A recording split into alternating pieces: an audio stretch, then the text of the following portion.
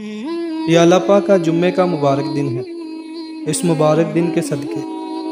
उन तमाम लोगों की मदद फरमाएँ, जो मुश्किलों में मुबतला हैं, और हम पर आने वाली तमाम मुसीबतों को टाल दें। आमीन या रब्बुल आलमीन।